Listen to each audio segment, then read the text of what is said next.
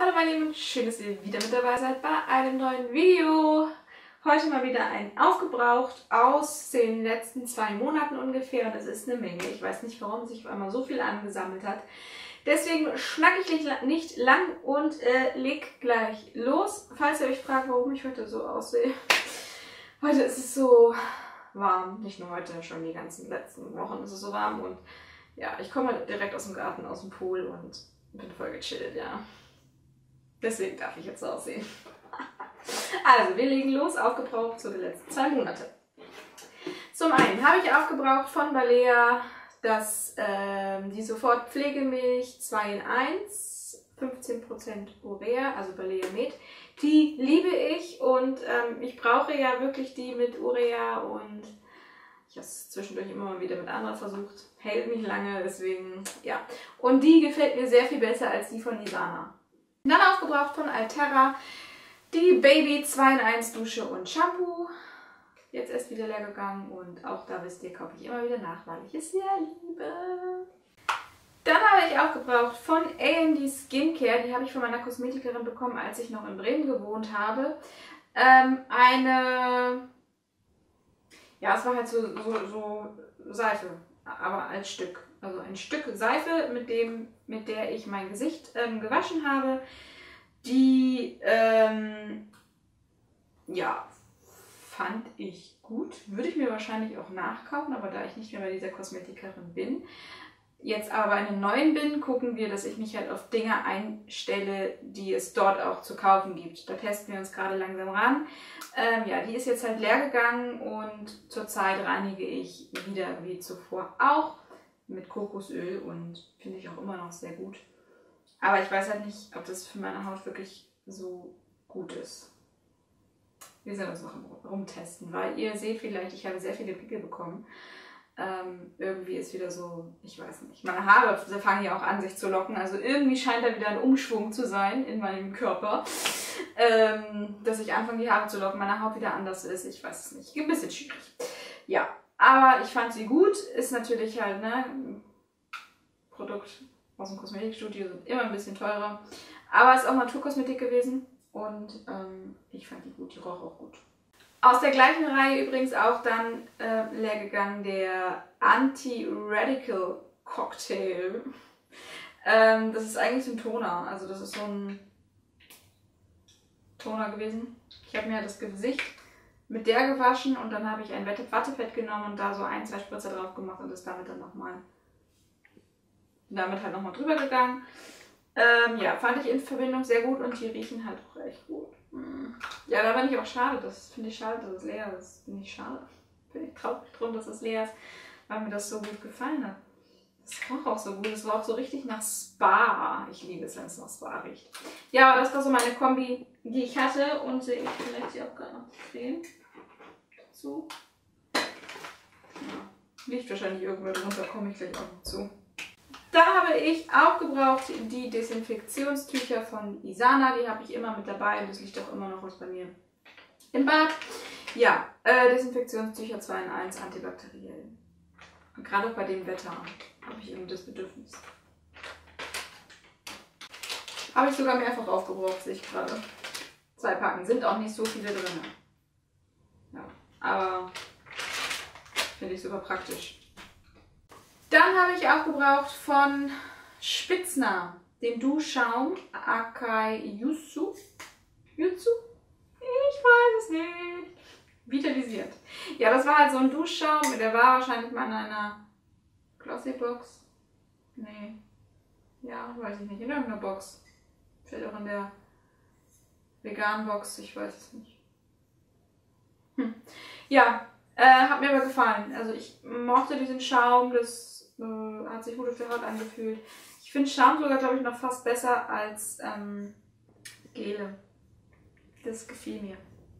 Dann nicht aufgebraucht, aber werde ich wegschmeißen, weil es schon gekippt ist. Es riecht nicht mehr sonderlich gut. Das war nämlich, weil es so eine kleine Größe ist, war das in meinem, in meinem, meinem Kulturbeutel für Reisen und naja, auch nicht mehr so angenehm. Now Bay Natural and Organic ähm, so eine Moisturizing Cream. Ja. Dann habe ich von Fußwohl äh, eine Pflegebalsam aufgebraucht. Steht bei mir immer am Bett. Fußcreme, Pflegebalsam, irgendwie, irgendwas dergleichen. Ähm, und nach einem langen, anstrengenden Tag kriege ich mir damit die Füße ein, dann wirklich nicht schlafen. Ich weiß nicht, ob das hilft, aber ich habe das Gefühl, es fühlt sich einfach besser an. ja, mit Avocado und Mandelöl und für trockene Haut. Ja. Ich habe sowas ähnliches, glaube ich, jetzt nachgekauft. Ich glaube nicht die, aber so ähnlich. Dann habe ich aufgebraucht eine Bambuszahnbürste. Ähm, ich benutze ja Zahnbürsten nur, wenn ich verreise und dann eigentlich auch nur, wenn ich alleine verreise, also ohne meinen Mann, weil wir hier eine elektrische haben. Und die nehmen wir dann halt auch meistens mit. Und ja, wenn ich aber halt alleine verreise, hat er die Zahnbürste, also kann ich die nicht mitnehmen. Deswegen nehme ich da immer so Bambuszahnbürsten. Und die mag ich tatsächlich nicht so lange dann gebrauchen, weil die dann halt auch so lange hier rumliegen und ich weiß nicht, wie schnell sich da irgendwie was ansammelt und so.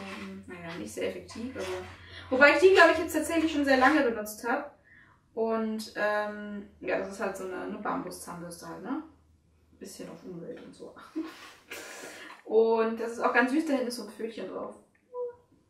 Ja, und da ist halt auch irgendwie, da lagert sich schon das, das, die Zahnpasta ab und so. Und ähm, ja, es sind auch ähm, Bambusborsten tatsächlich, also, ne?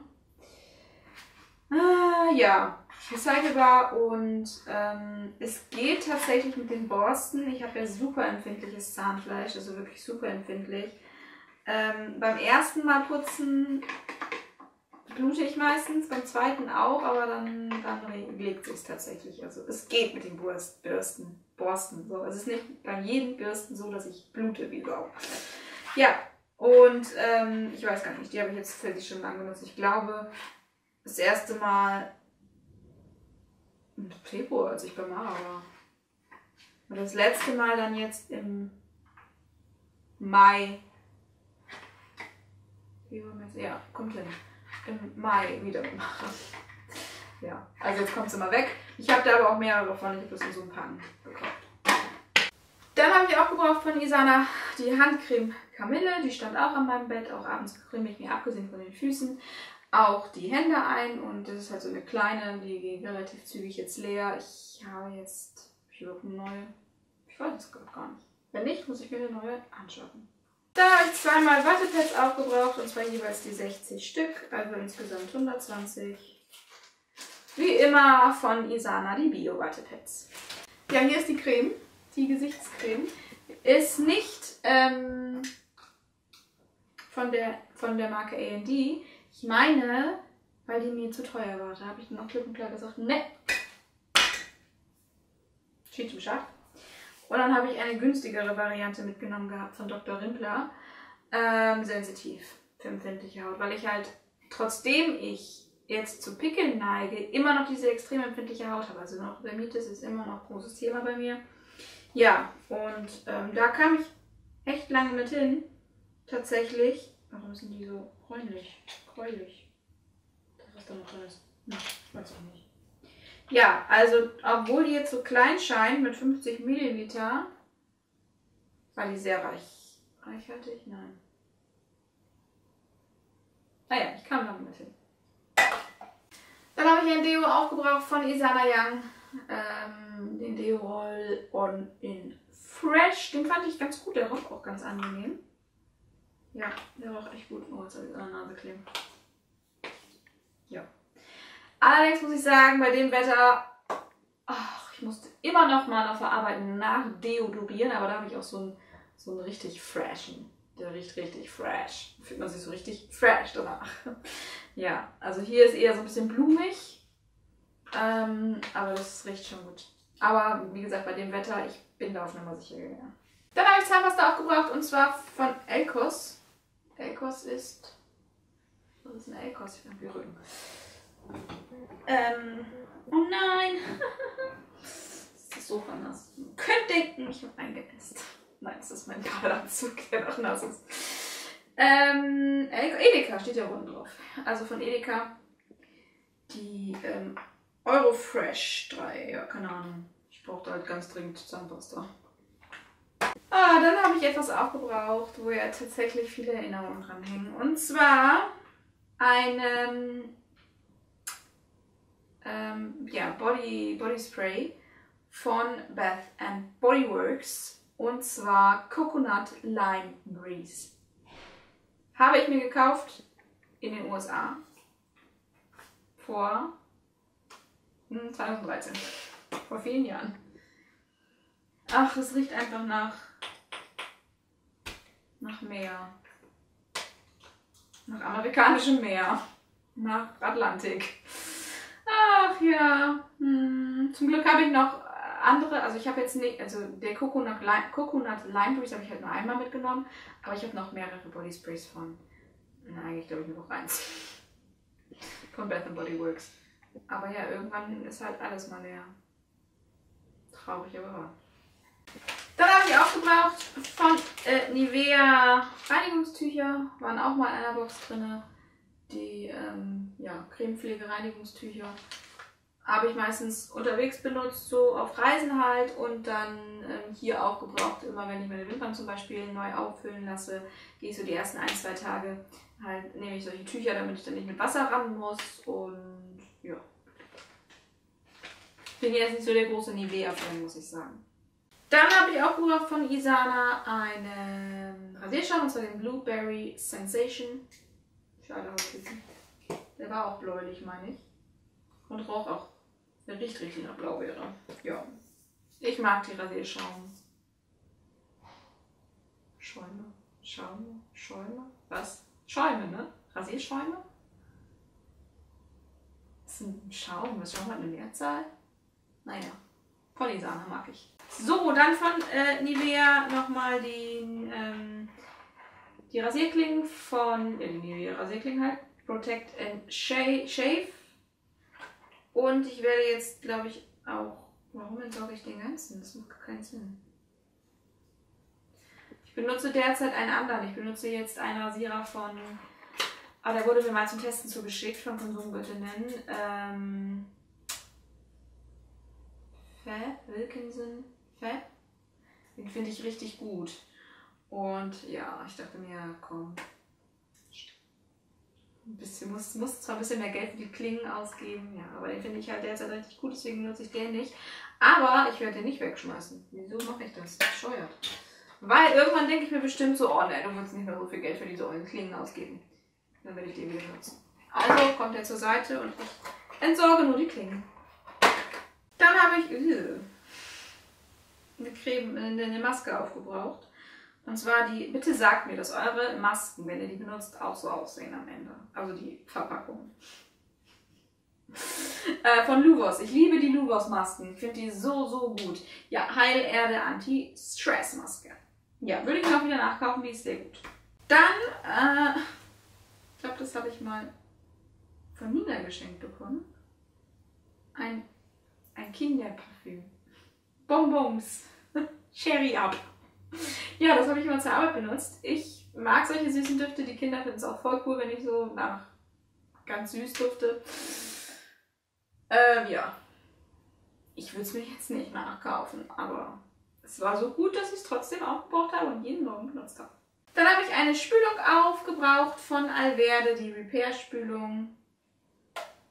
Und die fand ich auch gut. Strapaziertes und brüchiges Haar mit Avocado und Shea Butter. Ich kann zumindest jetzt nichts Negatives darüber berichten. Und zu guter Letzt, oh, das ist auch schon alt. Das habe ich, glaube ich, jetzt weggeschmissen. Da ist, glaube ich, noch was drin. Oh, das riecht immer noch gut. Warum riecht denn das noch so gut? Das ist, glaube ich, schon uralt. Ach, ich habe es, glaube ich, weggeschmissen, weil es doch leer ist. Sieht nur noch voll aus, es ist gar nicht mehr voll. Ähm, von Camille. Ist doch auch eine. Nicht ganz. Also es ist keine, keine, keine Billigmarke, würde ich jetzt schon sagen. Es ist, glaube ich, eine, eine, eine Marke. Marke, Marke. Wisst ihr, was ich meine? Ja, Hand- und Nagelcreme. Hm, riecht auch gut. Meinung, das habe ich früher mal benutzt, als ich noch bei meinen Eltern gewohnt habe. Also ganz, ganz früher. Vor zehn Jahren. Ja, komplett. Hm. Aber da war ich junge 21. ja, letztes Produkt. Gut, das war's. Alles, alles leer. Das war mein Aufgebrauch der letzten, ich glaube ungefähr zwei Monate. Ich weiß es nicht genau. Es ist viel, es ist so viel. Ja, schreibt mir doch mal in die Kommentare, ob ein Produkt dabei war, das ihr auch gerne benutzt oder was ihr, ob ihr so ein Nachkaufprodukt habt. So, dann dürft ihr das Video gerne bewerten, dem ihm einen Daumen gibt, nach oben oder nach unten und dann freue ich mich, wenn wir uns im nächsten Video wiedersehen. Bis dahin, tschüss.